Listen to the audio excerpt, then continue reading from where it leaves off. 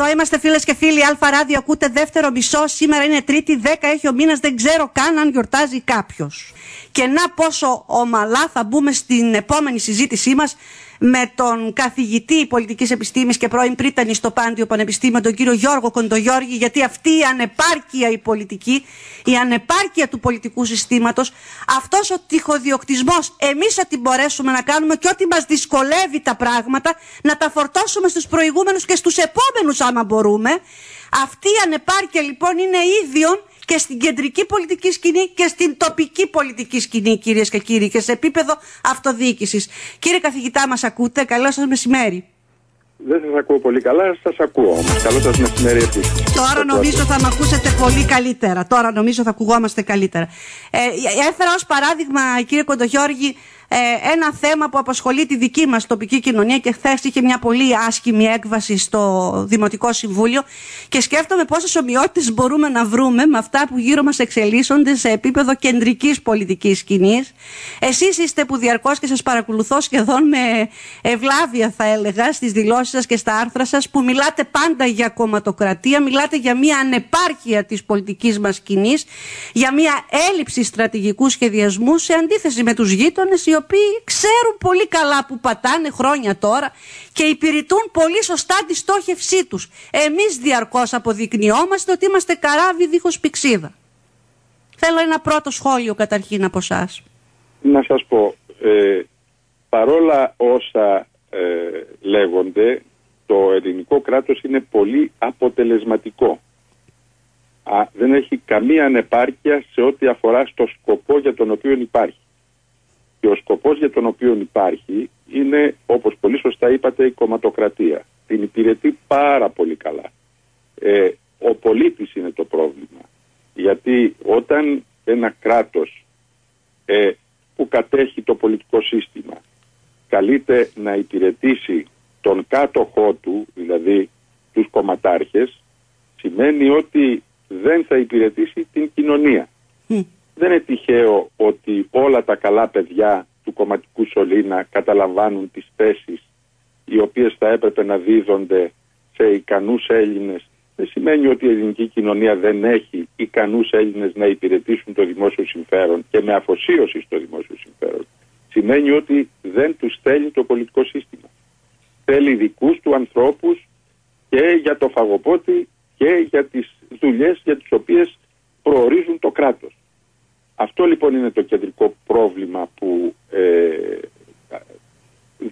στο οποίο ε, βρίσκεται εχμάλωτη η ελληνική κοινωνία αλλά θα προσθέσω επίσης ότι υπάρχει και μία εσωτερική πραγματικότητα που είναι ακόμα χειρότερα, που επιδεινώνει αυτή τη λογική του πράγματος.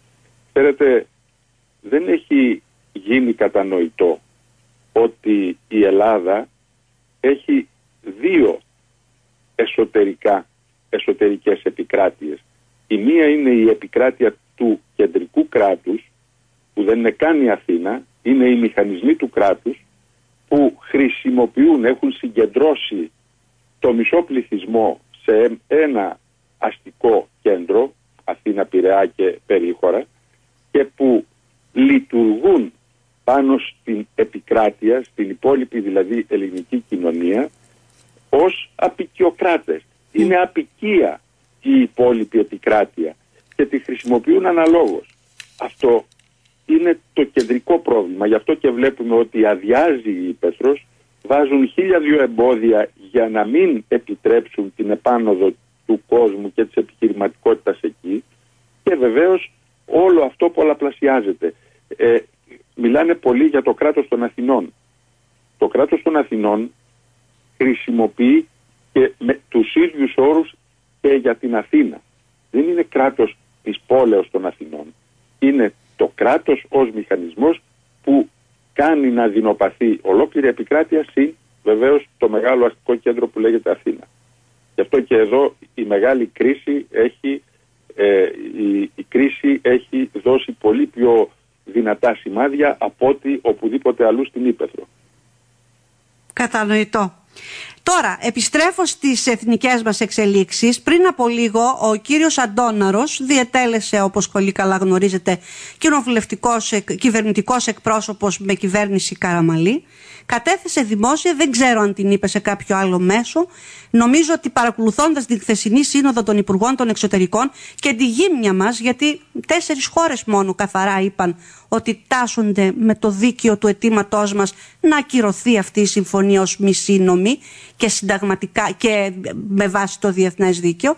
Λοιπόν, είπε ο κύριος Αντώναρος, καλό τον Πρωθυπουργό να καλέσει αύριο κιόλας στο πλευρό του ένα πρόσωπο που κατέχει από διπλωματία και εξωτερική πολιτική όσο κανένας άλλος αυτή τη στιγμή στην Ελλάδα και δεν με ενδιαφέρει λέει αν είναι η αδελφή του. Καλό να καλέσει στο πλευρό του με υψηλή επιστασία για θέματα άμυνας και εξωτερικής πολιτικής την Τώρα Μπακογιάννη. Πιστεύετε κύριε καθηγητά ότι φτάσαμε σε ένα πολιτικό αδιέξοδο που δείχνει και την απειρία ε, των κυβερνητικών στελεχών να διαχειριστούν στον βαθμό που έχει ξεσπάσει αυτή η μεγάλη κρίση και η μεγάλη ένταση με τη γείτονα; Ε, ακούστε, ε, δεν συνηθίζω να μιλώ για πρόσωπα, αλλά ε, το γεγονός ότι ο κύριος Αντώναρος ε, εμφανίζεται να έχει λόγο στα δημόσια πράγματα είναι χαρακτηριστικό της έκπτωσης που υπάρχει στην ελληνική πολιτική ζωή. Αν είναι δυνατόν είτε λέει σωστά είτε δεν λέει, θα έπρεπε να είναι ένας κοινός υπάλληλος σε, ένα, σε μια επαρχιακή κοινότητα. Δεν έχει άλλα προσόντα. Με ποια γνώση και δυνατότητα μιλάει ο κύριος, ο κάθε κύριος Αντώναδος. Δεν τον ξέρω, δεν έχω προσωπικά μαζί του και δεν με ενδιαφέρει ο άνθρωπος. Αλλά ο πολιτικός του βίος είναι πολιτικός βίος που ε, είναι κρεμασμένος από τα μαλλιά. Δηλαδή κάποιος που πίνανε ίσως μαζί ουζάκια και άλλα ε, και του, ίσως του έλεγε και αστεία και έκανε τις προσωπικές του δουλειές, τον κάλεσε εκεί πέρα και έγινε προσωπικότητα. Το πολιτικό σύστημα, ξέρετε, δημιουργεί προσωπικότητες αλλά αυτές που του μοιάζουν. Mm. Εάν θέλουμε λοιπόν να μιλήσουμε στα σοβαρά για αυτά που συμβαίνουν στα ελληνοτουρκικά, πρέπει να σκεφτούμε μερικά πράγματα. Παραδείγματος χάρη, γιατί τώρα κινητοποιείται η διπλωματία και όχι πριν αφού γνώριζε ότι ο Ερντογκάν ετοίμαζε ε, τέτοια ε, πολιτική συμφωνία με τη Λιβύη. Γιατί ε, εν πάση περιπτώσει δεν ετοίμασαν τη δική του στρατηγική ώστε αυτά τα οποία προνοεί το διεθνές δίκαιο από τα 12 μίλια που το φωνάζω από, το, από την αρχή της υιοθέτησης της Διεθνούς Συμφωνίας για την επέκταση στα 12 μίλια πριν καν αναφέρει η Τουρκία ότι θα αποτελεί αιτία πολέμου δεν τα έκαναν. Ποια στρατηγική ακολουθούν βλέποντας και κάνοντας όπως αποφασίζει και στρώνει το τραπέζι ο Ερντογκάν σημαίνει ότι την ατζέντα τη διαμορφώνει ο Ερντογκάν και επομένως εμείς ως παράκλητοι πηγαίνουμε στις διάφορες δυνάμεις στη Δύση, στην Ανατολή και παντού για να ζητήσουμε βοήθεια. Οι χώρες που ψάχνουν και οι χώρες ή στην ιστορία τους οι χώρες, τις στιγμές που ψάχνουν βοήθεια από τρίτους για να υπερασπιστούν τον εαυτό τους και την ελευθερία τους είναι χαμένες από χέρι. Δεν έχουν ελπίδα. Το, η, η διπλωματία είναι κρίσιμος τομέας της εξωτερικής πολιτικής αλλά πρέπει να συνοδεύεται από πάρα πολλά που σημαίνουν επένδυση στη διπλωματία μακροχρόνια, να γίνει συμβατή η αντίληψη που έχουμε για τα εθνικά συμφέροντα όχι με το δίκαιο, αλλά με τα συμφέροντα των δυνάμεων που διαμορφώνουν το χάρτη της περιοχής, εκ των υστέρων και εκ των ενόντων αυτά δεν γίνονται, τώρα γίνονται για εσωτερική κατανάλωση ουσιαστικά. Ε, επίσης, αν θέλουμε να δούμε σε σχέση με την Τουρκία τι προετοιμάζεται, μην αμφιβάλλετε ότι ε, θα πέσουμε μέσα στα τετελεσμένα και θα διαπραγματευτούμε με βάση τα τετελεσμένα που δημιουργεί η Τουρκία. Αυτό, πρώτα, πρώτα, αυτό το λένε... Τάξη, ναι. Έστω αυτή τη στιγμή που θα έπρεπε να γίνει θα ήταν η, με κάθε τρόπο ανατροπή του καθεστώτος της Τρίπολης. για να ακυρωθεί η συμφωνία. Ναι. Το δεύτερο, ε, θα πρέπει να διαμορφωθεί μια στρατηγική για τις ελληνοτουρκικές σχέσεις που θα έχει να κάνει και με αυτό το οποίο έχει εγκαταλειφθεί, εγκαταλειφθεί δηλαδή τους συσχετισμούς δύναμης στην περιοχή. Οι δυνάμεις τις οποίες παρακαλούμε να παρέμβουν για να διαμορφώσουμε κλίμα, το μόνο που θα κάνουν θα είναι όταν η Τουρκία θα δημιουργήσει τα τελεσμένα να πει βρείτε τα. Δεν θα έρθει κανείς να πολεμήσει, αλλά είναι δεδομένο ότι λαιλατώντας τη χώρα στο παρελθόν από τη μεταπολίτευση και μετά, τη δεκαετία του 80, την πραγματικότητα φέρανε τη χώρα σε τέτοια αδυναμία που πέραν του ότι δεν υπάρχει στρατηγική, δεν, υπήρχε, δεν υπάρχει και η δυνατότητα αυτή τη στιγμή, σε πολύ μεγάλο βαθμό, να αντιμετωπιστούν τα προβλήματα. Κυρίως όμως, όχι γιατί δεν υπάρχει ο συσχετισμός δύναμης, αλλά γιατί δεν τον έχουν βάλει μπροστά να, να λειτουργήσει αποτρεπτικά. Μας λείπει η αποτρεπτική ισχύς και μας λείπει τόσο σε επίπεδο διπλωματίας, άρα συνασπισμών, όσο και σε επίπεδο οπλικό, αλλά μας λείπει επίσης και η εσωτερική βούληση. Δεν έχετε αντιληφθεί όπως όλοι μας ότι στην πραγματικότητα βυσοδομούσαν υπέρ της ε, απαξίας της ελληνικής πολιτισμικής συνείδησης αυτό που συνέχει δηλαδή έναν λαό για να θελήσει να υπερασπιστεί τα, τα σύνορά του και την ελευθερία του. Εάν μας, αν διαρρήξουν την πολιτισμική συνοχή, την ιστορικότητα δηλαδή ενός λαού που θέλει να την υπερασπιστεί επομένως, να υπερασπιστεί τη χώρα του, εάν αυτόν τον λαό τον, λαό, τον, τον φέρει κανείς σε κατάσταση εξαθλίωσης, θα του μοιάσει. Θα μοιάσει του πολιτικού ο οποίος αυτή τη στιγμή έχει ενθυλακώσει στο μυαλό του την συνθηκολόγηση με την Τουρκία. Ξέρετε τι περιμένουν και θα με θυμηθείτε. Να δημιουργήσει η Τουρκία τα τετελεσμένα, ναι. Να πούν λυπούμαστε δεν μπορούμε να κάνουμε κάτι και να προχωρήσουν σε έναν επονίδιστο συμβιβασμό ο οποίος θα έχει μόνο να δώσει από την πλευρά της Ελλάδας και χωρίς να εγκαθιστά τη θέση του καν την ειρήνη. Και σε αυτόν τον συμβιβασμό κύριε καθηγητά συμβιβαστικά να τον δουν και οι Έλληνες πολίτες που θα πούν «Όχ μωρέ τώρα μετά από 10 χρόνια τέτοιας μεγάλης αφέμαξης που υποστήκαμε θα δώσουμε και ανθρώπινες ζωές.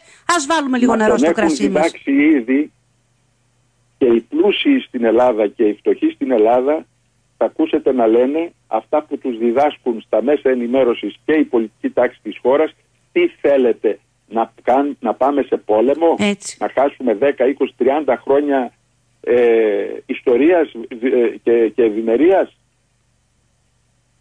Αυτό είναι το κεντρικό ζήτημα, ότι η Τουρκία έχοντας μια στρατηγική βάθους, ιστορικού βάθους, γνωρίζει ότι μπορεί να πετύχει το 100% χωρίς να πέσει πειθακιά έναντι της Ελλάδος. Και αυτό είναι το, είναι το δράμα που ζει αυτή η χώρα, διότι αυτή την αντίληψη την καλλιέργησε ιστορικά η ελληνική πολιτική τάξη και συνεχίζει. Το ότι περιμένουν να δημιουργηθούν τα τετελεσμένα για να ε, υπογράψουν είναι γιατί δεν τολμούν ακόμη να βγουν και να πούν ότι πρέπει να τα παραδώσουμε όλα, να συνθηκολογήσουμε. Και δεν τολμούν γιατί η ελληνική κοινωνία θα τους λιντσάρει. Δηλαδή είναι κύριε τυχαίο, καθηγητά τώρα έτσι είναι όπως... Τυχαίο. Θέλω να σας πω παρακαλώ, μόνο κάτι. Παρακαλώ. Ο κεντρικός συνομιλητής και σύμβουλος των εκάστοτε κυβερνήσεων της Νέας Δημοκρατίας, του ΣΥΡΙΖΑ και όλων και της τωρινής κυβέρνησης με συμβατικό τρόπο είναι το ΕΛΙΑΜΕΠ. Τι επεξεργάζονται στο ΕΛΙΑΜΕΠ. Ακριβώς αυτή τη συνθηκολόγηση. Αυτή την ιδεολογία της αποδόμησης της πολιτισμικής συνοχής προκειμένου να μην υπάρχουν αντιστάσεις και να κυβερνούν οι ολιγάρχες. Οι κομματικοί ολιγάρχες, κυρίως και οι συγκατανευσιφάγοι που είναι γύρω τους και τρώνε και πίνουν εις βάρος της ελληνικής κοινωνίας. Το ελληνικό κράτος και οι γύρω τους ε, μπορεί να παρομοιωστεί με τα παράσιτα τα οποία τρώνε από το δέντρο αλλά που το δέντρο αντλεί από το έδαφος. Το έδαφος είναι η κοινωνία, το δέντρο είναι το κράτος, το πολιτικό κράτος και τα παράσιτα η πολιτική τάξη της κομματοκρατίας και η υπέρηξη συγκατανευσιφάγοι που χρησιμοποιούν το κράτος ως πριτανείο σύντησης. Πώς μπορεί να δουλέψει μια κοινωνία και να βγει στον αέρα και να έχει αξιοπρεπή βίο όταν ξέρουμε ότι στις διακρατικές σχέσεις δεν υπάρχει δίκαιο, δεν υπάρχει ε, ανθρωπισμός, υπάρχουν σχέσεις δύναμης. Σχέσεις δύναμης που όταν ξέρεις και έχεις στρατηγική και τις επικαλείς εξασφαλίζει την ειρήνη. Αλλιώς την παράδοσή σου. Και ξέρετε κύριε καθηγητά, αυτά που λέτε μπορεί να ακούγονται... Δεν έχουμε στρατηγικές στην Ελλάδα, διότι οι προτεραιότητες της πολιτικής τάξης και του κράτους είναι άλλες. Μην βλέπετε αυτά που βγαίνουν και λένε. Τώρα που ο ΣΥΡΙΖΑ είναι στην αντιπολίτευση, μιλάει με γλώσσα η οποία δεν έχει να κάνει με αυτήν που είχε στην κυβέρνηση. Βέβαια. Η κυβέρνηση μας έλεγε ότι είμαστε μοναχοφάιδες. Η κυβέρνηση μας έλεγε ότι η Τουρκία έχει τεράστιες ακτές και, και έχει δικαιώματα. Σαν να ήταν υπουργοί της κυβέρνησης Ερντογκάν και όχι της Ελλάδας. Σήμερα λοιπόν μιλάει με τους ίδιους όρους που μιλούσε ως αντιπολίτευση η Νέα Δημοκρατία. Αλλά είναι κυβέρνηση η Νέα Δημοκρατία. Τι αλλάζει; Τίποτα. Εναλλαγή, εναλλαγή στην εξουσία, αλλά ο καθένας όταν βρίσκεται φοράει το κουστούμι που του ταιριάζει. Όταν βρίσκεται σε, σε θέση εξουσίας και διακυβέρνηση της χώρας. Φοράει το κουστούμι που του ταιριάζει. Το κουστούμι απλώς το έχουν κουμπωμένο με γραβάτα ή χωρίς γραβάτα και ξεκούμποτο. Δεν αλλάζουν τίποτε. Ο πολιτικός λόγος είναι αέρας φρέσκος. Σημασία έχουν οι πράξεις. Και οι πράξεις ομολογούν ότι όταν είναι στην κυβέρνηση όλοι έχουν ομοθυμία πάνω σε αυτά που σας περιέγραψα. Έτσι αντιλαμβάνονται το κράτος, έτσι αντιλαμβάνονται την ελληνική κοινωνία, έτσι αντιλαμβάνονται το εθνικό ή το κοινό συμφέρον όπως θέλετε πέστε το, έτσι αντιλαμβάνονται και τις διακρατικές σχέσεις. Δηλαδή Απλώς κύριε Κοντογιώργη περιμένει τα προβλήματα στους επόμενους, επόμενους. γιατί δεν τολμούν οι ίδιοι να τα παραδώσουν. Ακριβώς. Δηλαδή τώρα το πολιτικό σύστημα μας λέτε, γιατί ακούστηκαν πολύ πικρά αυτά που είπατε, αλλά απηχούν στην αλήθεια και μόνο στην αλήθεια. Περιγράφω, περιγράφω Πε... κυρία μου. Περιγράφω. Ναι, ναι. Είναι περιμένεις στοικά. Το ομολογούν οι ίδιοι. Περιμένεις Όταν στοικά. Κατηδίαν, το ομολογούν ότι έτσι σκέφτονται. Όταν μιλάνε δημόσια, απλώς εξαπατούν αυτόν ο οποίος τους ακούει. Χαϊδεύουν αυτιά. Δηλαδή περιμένει ΙΚΑ το πολιτικό σύστημα πότε θα δημιουργηθούν τα τετελεσμένα για να πει εντάξει ας τα βρούμε τώρα και να τελειώνουμε. Αυτό μας λέτε. Εκεί καταλήγουμε. Αυτό που μας ανήγγυλαν ότι πρέπει, πρέπει να παραβιάσουμε το διεθνές δίκαιο και άρα την εθνική κυριαρχία γιατί η Τουρκία έχει μεγάλες ακτές στη Μεσόγειο ή γιατί ε, είμαστε μοναχοφάιδες, τι αναγγέλει αναγγέλει ότι έχουν γραμμένο και αυτό ακριβώς το, ακόμη το διεθνές δίκαιο και αυτά τα συμφέροντα της χώρας και δεν είναι ε, σε καμιά περίπτωση διατεθειμένοι. Μας αναγγέλουν ότι αν τους βάλουμε να μας εκπροσωπήσουν θα μας πουλήσουν. Αυτό δεν λένε. Ποιον εκπροσωπούν. Με συγχωρείτε, ας διαρωτηθούμε κάτι. Μας λένε ότι το σύστημα είναι δημοκρατικό, μας λένε ότι υπάρχει το δημοκρατικό τόξο που είναι αυτοί και μας λένε ότι αντιπροσωπεύουν τον ελληνικό λαό. Και γιατί αντιστρατεύονται τη βούληση του ελληνικού λαού; Γιατί αντιστρατεύονται τα συμφέροντά του; Γιατί τον θεωρούν όταν, όταν τους αντιλέγει ότι είναι όχλος και ότι είναι συντηρητικός, ακροδεξιός, ε, οτιδήποτε και είναι αυτοί που κατέχουν την πεμπτουσία της γνώσης και της προόδου. Από πού και ως πού. Πώς το αποδεικνύουν με τις πράξεις τους. Δεν τους ξέρουμε. Δεν ξέρουμε την πολιτεία ενός εκάστου. Πώς τολμούν και εξτομίζουν τέτοιο λόγο εναντίον της κοινωνίας που τους τίμησε για να τους κάνει μονάρχες της χώρας. Μονάρχες σε ένα δημοκρατικό πολίτευμα κατά τα άλλα. Κύριε Κοντογιώργη, ε, κύριε Κοντογιώργη, σας ευχαριστώ θερμά για την παρέμβασή σας στην εκπομπή μας. Να σας ακούσαμε όλοι με πολύ μεγάλο ενδιαφέρον, ειλικρινά. Σας ευχαριστώ και πάλι. Ευχαριστώ εγώ. Γεια σας.